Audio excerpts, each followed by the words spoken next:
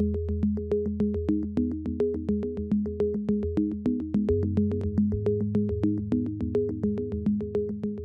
afternoon. My name is Rhonda Hayes, and I teach BCIS and coordinator for that and for the Oracle program. And we are actually here today, and we have Dr. Chapman, who is going to actually, we're going to have a discussion about the common book, uh, Notes from a Young Black Chef. So I'm really looking forward to this interview with Dr. Chapman. Thank you so much. So Dr. Chapman, if you would please introduce yourself, I'd appreciate it. Absolutely. Thanks, Dr. Hayes. Uh, so I'm Dr. Kenneth Chapman, Executive Dean of Liberal Arts, North Lake Campus. I'm excited to be a part of this journey for the Common Book um, and really what it's going to bring to our campus and what's going to really bring to our district at large. So, and definitely excited to be interviewed by one of North Lake's finest, Dr. Rob Hayes. Thank you very much.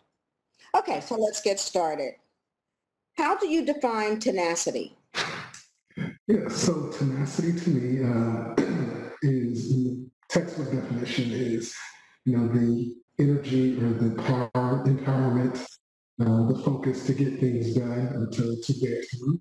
Uh, but I have a unique uh, self-definition, which is um, steadfastness. I often utilize the, the word, the word grit, steadfastness, tenacity. And so I always equate steadfastness to tenacity because particularly being a black male, identifying as a black male academic, um, and we often associate grit with having everything that you need and you control uh, the systems and control the environment to be tenacious. Um, and so I would posit or argue that uh, I have steadfastness to, to bear through the things that I can't change, which is by proxy makes me tenacious and have tenacity. And so I, I love the use of that. Uh, grit is great, but I don't think everybody has grit. I think some of us are equipped with steadfastness, which is kind of the inverse of it, meaning that you have what you need to bear through. And so both, I think, lend itself to tenacity. That would be my definition is uh, having steadfastness to get through, to get to your goals, to advance, to come up uh, to higher levels and deeper. Thank you so much, Dr. Chapman. Okay, next question. In Notes from a Young Black Chef, Kwame tells us his story, how he grew up to become a chef what does your story look like? And how did you get to where you are now? Great question. So, um, born and raised in a small inner city, city, inner city suburb of Oklahoma City called Del City, Oklahoma, which is a dot on the map. Um, and have two younger sisters, uh, mom and dad. My dad was a prison guard, mom was a reservations for Hertz. Um, so we always got free rentals. I'll throw that in there. Uh, and grew up in Del City, Oklahoma, and didn't really have a love for education. Uh, my journey, uh, I tried athletics, um, but that didn't work out for me. And I tried other uh, identities that didn't work out for me, but I love to read never had the desire to be uh, educated, if you will. I always felt like I was missing something, so I, um, I was the class clown. I was everything but studied and learned, learned as they say in the country. Uh, and so I, uh, I, I, squandered a lot of my years not applying myself. Um, so I went to undergrad at University of Central Oklahoma um, and did communications, got a communications degree. Um, and I always tell the story about how I was pre-law first and then I had to do bunch of reading, so I got out that. Uh, I was pre-med and then I found out about that I can't do law, so I dropped out of that. And then I ended up with communications, which has lended me well because we come full circle because I love hearing myself talk. Uh, and I think I'm typically a good communicator, particularly doing diversity work, uh, that being kind of my passion in higher education. Uh, and my professional journey started as a bank teller to put myself through school. Left from that and went to financial crimes analyst, where I worked with Secret Service and FBI, working money laundering cases was miserable because I didn't have a business background or accounting background. but I talked my way into that. Did that for a number of years and made really good money at a young age. But the adage is true, money can't buy happiness. So one day I just quit, uh, dropped out of an MBA program, quit that banking job, went and got a master's in education, started as an academic advisor. Uh, we worked with international students and have been in education ever since and have loved it. Um, left from there and took uh, worked at College of Medicine, where I did diversity work with the College of Medicine recruiting um, doctor, diverse doctors, uh, and then left there and was assistant dean of diversity at a private school left there and then built a diversity program at the University of Oklahoma, where I was also a faculty member, did my doctoral uh, graduate work at uh, in business, liberal studies, and uh, education. So I've kind of been a hodgepodge all over the place. Uh, and then from there, arrived at Northlake College's Dean of Arts, uh, which is the full academic side, which I uh, have loved ever since because it allows me to kind of do a little bit of everything and work with some really awesome people. I think more so I'm a sociologist uh, in mind, not in practice. Uh, education degrees and sociology says I love uh, being around people and learning about people. So that's kind of my, my journey. Thank you so much. Interesting. Okay, next question. One of the things Kwame focuses on are the many and varied obstacles he faced on his journey so far. What obstacles have you had to overcome along the way? Yeah, um, so so many. I think back to when I was in banking, how um, there was an older white gentleman who told me, you know, uh, you need to wear a suit every day and grow your beard out because nobody's going to take you serious. Because um, when you look so young, you look like a baby. And two, there's not very many black men around here, and you know you could be perceived as a certain way. Um, and so, and I love my beard, and I got the COVID beard going on now.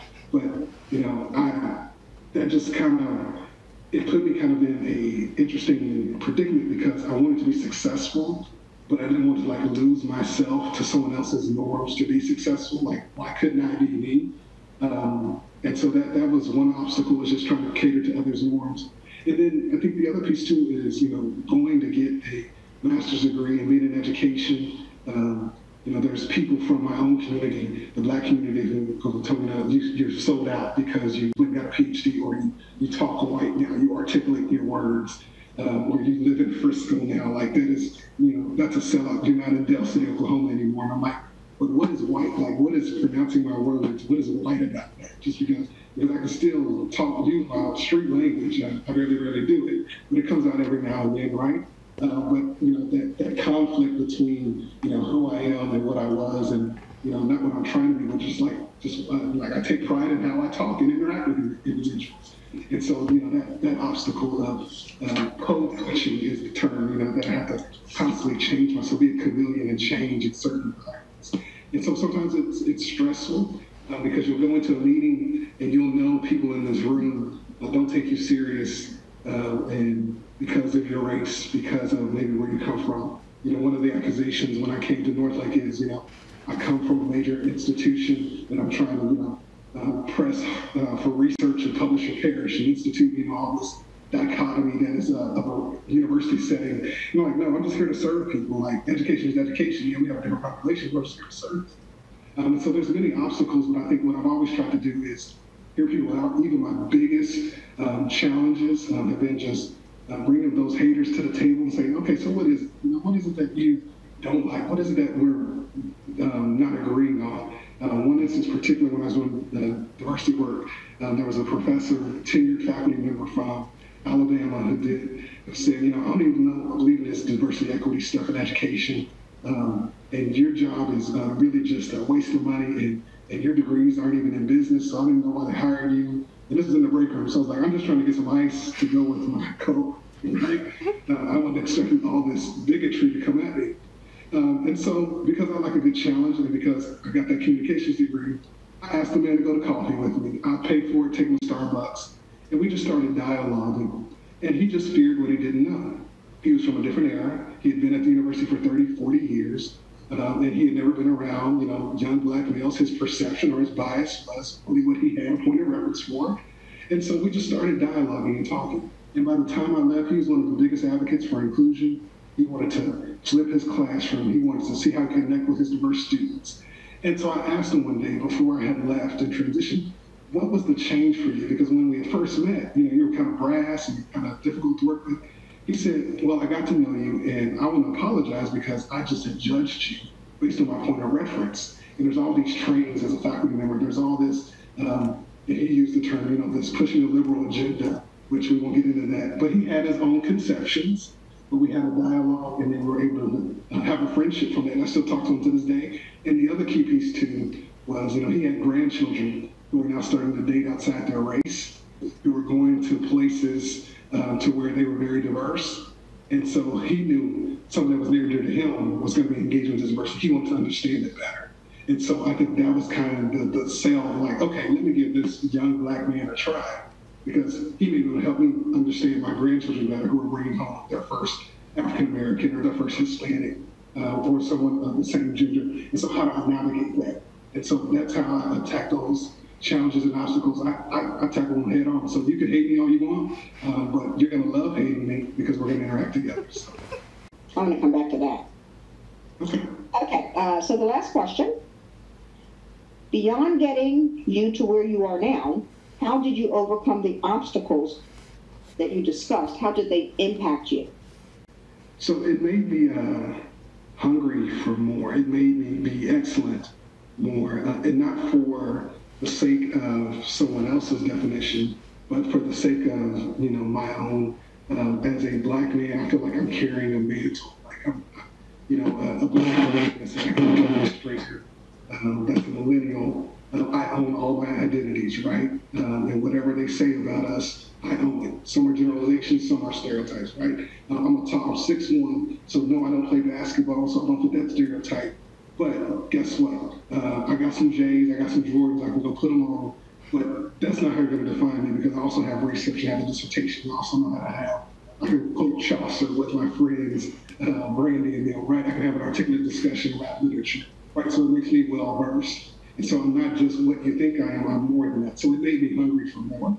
Uh, I think the other two things is, is, that it revealed to me that ignorance that truly exists in the world because until you really encounter it, you don't really understand that, like, these people actually believe what they say. Like, you actually believe that stuff? Like, um, the notion that um, African Americans had an extra muscle which made them faster on the track. Uh, and people actually believe that, right? And so, and when I encounter folks who say, well, you know, you all are good in sports because you have the extra muscle, I'm like, so where did you get that from? Where did that derive from? And how can we unpack that? And so it's almost not a game, it's just so intriguing to me to help people turn that light on. I guess that's the educator in me. Is like, there's a way of, you know, shaming you and, uh, you know, going through this whole argument process. But let's use education. Yeah, I know you're ignorant and bless your heart, right? But let's go through this process. I'm one of the ones who are going to walk alongside you until you get it right. And sometimes it's a blessing and burden to be as patient as I am. But I think the unique thing is, is that I get a, we get a choice. I get to, to check you, you know, the, my wife's from South DeSoto, like I got that in me, but I also can love you and show you that patience and grace. And by all means, sometimes I think we need that, that abrasiveness, sometimes I think that peace. And so I think that it's made me better because now I'm able to be um, in tune enough to know when a person needs it and when they don't. Now, when they're just plumb ignorant, oh, let's go all in, right? That's uh, angry black man, every stereotype. Uh, when you mess with my babies, uh, I'm going in. When I, uh, and I talked about it on the panel last week, earlier this week, when my son was uh, engaged in the classroom, the teacher was sending all the black boys you know, to for discipline. But when white kids were acting out, it was their spirited or they're just energetic. But what the black kids do, they need to be disciplined. Oh, I was angry black man. I'm just gonna go ahead and admit it. I was up there angry black man and I use my degrees and my influence, and I'm privileged because I have degrees, and I had enough uh, privilege to know I can go to the superintendent. But I think about those parents who don't have the education, who don't have the access to the superintendent, who are at least lost out left behind. So how can I use my privilege now to help them? Because there's others who don't have what I have. So I want to use what I have in order to benefit my people but also other people who don't look like me to eradicate ignorance. So I'm on this, this campaign to eradicate ignorance in the world. So I'm, I'm, a, I'm an ignorance uh, broker. I'm trying to get rid of it as much as possible. I like that ignorance broker. and I love to talk, so. Um, That's okay. I'm, I'm done. Yeah, I'm done. So I get passionate about this stuff. It's fine. It's interesting. Yeah. And it promotes discussion. Okay. So, seriously, I'm, in, I'm intrigued, I'm impressed. Um, and I really like what you said the other day on the on the event about your son, and that you do take, you know, there are people out there that don't have the benefits, they don't have the privileges that you have. Okay, you've earned all of your privileges, but you are trying to also uh, be, be, be a voice for them, Right. because not all parents would have gone to the school to find out what's going on. Okay, or had they may have been pushed aside. But you could not be pushed aside. Right. Sometimes people perceive us in that angry black or Yeah. automatically ignorant. But actually, I'm going to segue into that sellout. So Yeah. felt the sellout. Yeah. And this is a question, actually. I think you said this, but I want to I want to make sure. Are you saying you felt the sellout from your own people? Yeah. Sellout tag. I grew up with that tag. Sure. Because my mother, she articulated every syllable. She would speak so slowly, we would say, Mommy, please hurry up. We would articulate. We were raised that way. She didn't speak in slang. Now I can speak in slang, blah, blah, blah. But I've seen that. So not only are we faced with this, not the sellout from, you know, white population, we have another issue to deal with them, but our own population, we get the sellout, okay? I've actually seen where people will hold themselves back because they don't want to get that label. And no, we have to ignore that. You don't forget where you come from. You don't forget your people, but we have to Absolutely. we have to evolve and hopefully hope. I love that you that you take it. You you want you're a change agent, especially for the person that you worked with. What a change agent Right. that you were able to shine some light. You were able to get him to, to open his ears, also open his heart. Right. His heart, that's a big one. Right. Yeah. know? And to get him to listen and then learn and embrace. Right. So, but Kwame faced the same the same thing, and his obstacles. You know, trying to be in a business world, basically in a white man's world. Okay, that's the truth. And push what he his plan, his agenda, without selling out to his homies. But your homie attitude doesn't mesh all the time with the corporate world. Right. And that's the interesting, I think, the dichotomy because you have these competing, which self do I bring, right? So I come into a situation, which self, because everyone who's there is already going to determine based on what they see first, right? But you have, does Harlem show up? Does, you know, the, the IT professional show up? Does, you know, does the Texan show up? Like, it's all combating now you have a young black chef, right? Let's just take the title, right? Mm-hmm. Before we even read it, that right there has so much packed into it. Young, so obviously there's going to be an identity of um, black and then chef. Like those don't even do those go together, right? Um, because when I even look at the word chef or look at the word black, my bias is already going to tell me what I should think about those because of word association. Mm-hmm. So when you think chef, you may think Bobby Flay, right? Mm-hmm. But can a black person be a chef and then be young? Because usually to get to chef level, you have to have years and years and years and so. So is that a self-given title and all that? And so then when you actually read his story, you see all that he's gone through. So yeah, he's qualified to call himself a chef in his own regard because of his experiences. Right. Um, and so I wouldn't necessarily call myself a chef because, you know, burning popcorn in the microwave doesn't qualify me as, you know, a chef, but I know how to cook food, so based on my experiences. So I think even when we look at labels, Yankee, um, Harlem uh, those things, we make an assumption about what that means. Sure. Um, angry, black, aggressive or assertive, right? And so that's what I love about the book is that even the title itself leads you to think one thing, but then when you read his experiences, it kind of leaves you understanding why. And I even think I love, I love these notes from Young Black Chef, which Yes. indicate what somebody's young taking notes Taking notes. And black chef taking notes. What?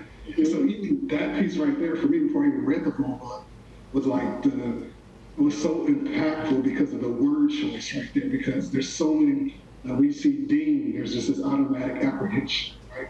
Or when we read, if we talk about money, when we see certain names on a resume, you know how there's a, a, a loaded uh, kind of uh, bias that is there. You know, when people call us my wife's ICU nurse and they see Kimberly's going to be your nurse today.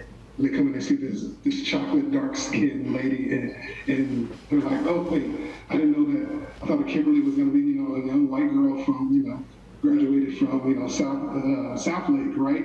And so, and, and I think my her experience is how she's had patients who said, no, I don't want this black girl treating me. Uh, I want a white nurse. And, you know, her superiors have come and said, listen, she's the best on our floor. If you want to live, then you don't let this black nurse treat you. Uh, and it doesn't matter what color you are. She's looks beyond that and still treats them with compassion and care because it's her calling to be a nurse, even though they have hatred in their heart for it. So I think my calling out, I'm still going to cook this meal for you, even though what I'm going through, because it's my calling.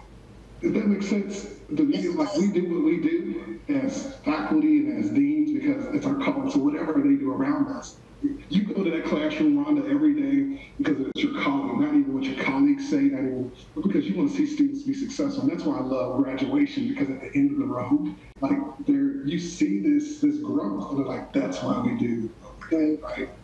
Dr. Cameron, I want to thank you for your time. Well, Thank I really enjoyed this. Always a pleasure. Okay. It's a pleasure.